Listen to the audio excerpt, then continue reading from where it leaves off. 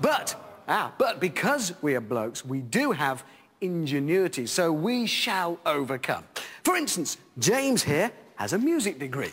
So, James, if you would please take it away. Sounding good.